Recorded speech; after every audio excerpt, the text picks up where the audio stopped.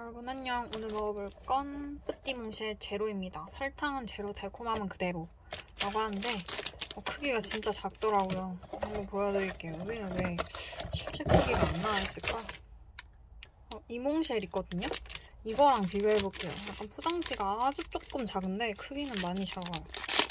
이몽쉘도 사실 원래 몽쉘보다 좀 작은 느낌이 있었거든요.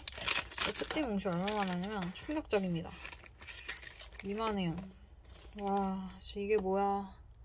뭔 일이래니? 와, 이거는 근데 진짜 작다. 맛은 좀 많이 단 편이고, 약간 술, 알코올 맛? 그런 맛이 좀 나요.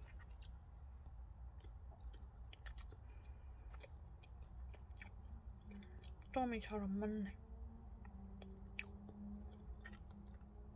먹을만은 합니다. 설탕이 안 들어갔다고는 하는데 칼로리는 그냥 높아요. 12봉지 174g에 785칼로리. 얘는 384거든요. 거의 두 배죠. 얘 두 배 하면 340, 350 정도 되거든요. 얘는 두배 하면 1600 정도 됩니다. 차이 별로 안 나요. 설탕이 안 들어갔다고 하는데.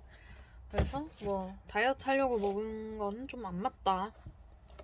그럼 이번에 태극당 몽쉘 한번 먹어볼게요. 이거 가격은 얘가 홈플러스에서 3,300원 정도 했었던 것 같고 얘는 기억이 안 납니다. 제가 많이 먹어서 이제 마지막 하나 먹는데요. 어, 사과잼 맛 너무 많이 나면 별로 맛이 없더라고요, 저는. 근데 사과잼 맛 많이 안 나요.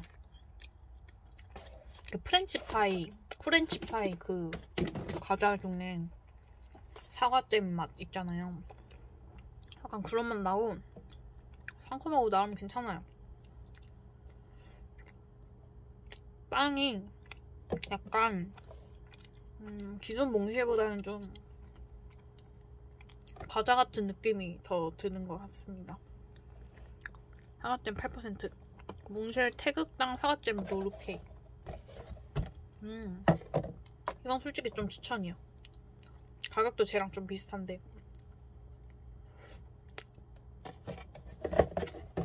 포장지도 귀여워가지고 많은 사람들한테 한두 개씩 주기 좋은 것 같아요.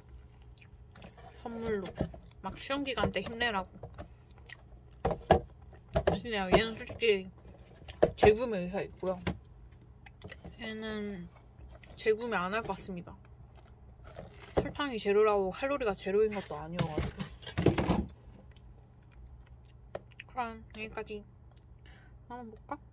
딸기 사과잼. 이렇게 돼 있어요. 보이세요? 나 초점이 자꾸 안 맞아가지고.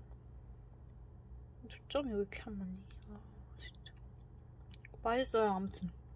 여기 사과잼 보이는데 안 보여가지고 진짜 문제다 문제야. 왜 이렇게 안 보이니? 아 이제 보인다.